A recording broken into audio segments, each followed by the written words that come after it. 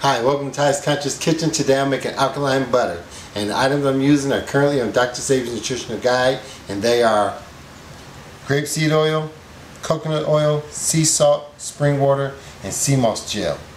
So what we're going to do first, we're going to take a half a teaspoon of sea salt and put it in a quarter cup of room temperature spring water because you want this the salt to kind of like dissolve then we're going to take three quarter cup of grapeseed oil three quarter cup of coconut oil one teaspoon of sea moss gel. And this is optional. You don't have if you don't have it you don't need it. Now the salt dissolved a little bit. It's pretty good to add the quarter cup of the water and the salt salt water. Then we're going to take our stick blender. We're going to blend it for about 30 seconds on high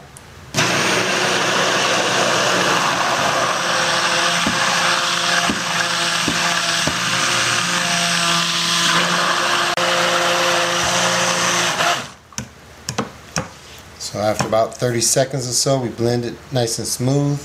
And if you don't have a stick mixer, you can use a normal blender. What I like to do is store it in an airtight container and put it in the refrigerator until it turns solid.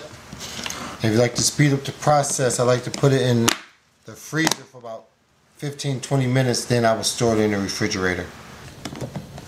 Now that the butter is done, you can actually put herbs in it to give it a different flavor like thyme, oregano, or onion powder. So I'm to give it a little try. Uh, it looks delicious. And it tastes delicious. And actually it will go great with anything because it's butter. So don't forget to like, comment, share, and subscribe. Thank you for watching. Enjoy.